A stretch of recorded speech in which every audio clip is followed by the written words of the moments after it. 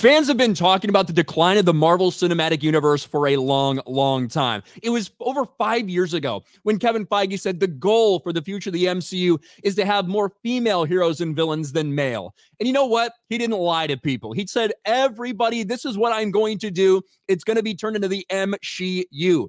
And despite people in the mainstream media pushing back against that narrative and saying, all these people saying MSheU, that's really not what's going on the end of the day, with the failure of the Marvels, essentially everyone can look at this for what it is a complete and total failure because Marvel decided to focus more on identity politics and representation than they did on actually entertaining people. And it seems like nearly every single hero, and just like we saw in the comic books, we're all new, all different Marvel, it seems like nearly all of them are being replaced or about to be replaced or supplanted by either someone of a different race or a different gender.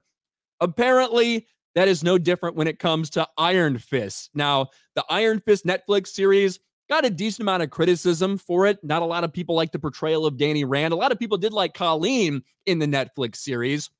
Maybe that's what sparked this rumor. Rumor Marvel Studios planning female led Iron Fist project. Danny Rand may have a supporting role.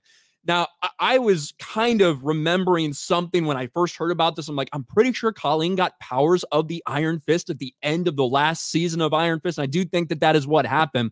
But now, not necessarily saying that she's going to come back, but somebody, a female Iron Fist, is reportedly going to uh, usurp and take over for Danny Rand in the Marvel Cinematic Universe because why not? But what what else could there actually be anything that they would do like that that would be a surprise? It would be a surprise if they just took a male hero and let him be a male hero.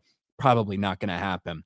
New details about Marvel Studios' plans for the MCU's living weapon had been revealed. And it sounds like the current idea is to sideline Finn Jones, Danny Rand, in preference of a female Iron Fist. Iron Fist struggled from the start, and despite a vastly better second season, the Netflix series never really managed to live up to fan expectations. As a result, news of its cancellation on the streaming service didn't come as too much of a blow, though Danny Rand actor Finn Jones remains keen to reprise the role.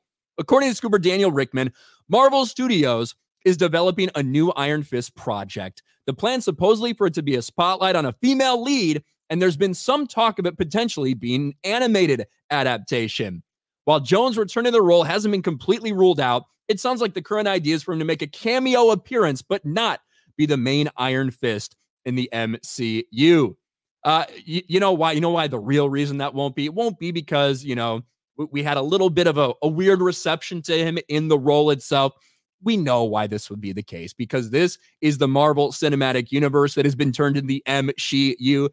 And if they ever have an opportunity for a female hero or whatever to take over for the male, you know that's exactly what they're going to do. And I did actually like Colleen in the series. I probably liked her more than I liked Danny Rand, but it's just such a typical MCU thing to do because it's what we've seen happen for the past several years as fans have been calling out and fans have been walking away. But apparently, Marvel continues to go down the path that got them in this hole in the first place. Uh, for people that think it's ever going to change, I'll believe it when I see it.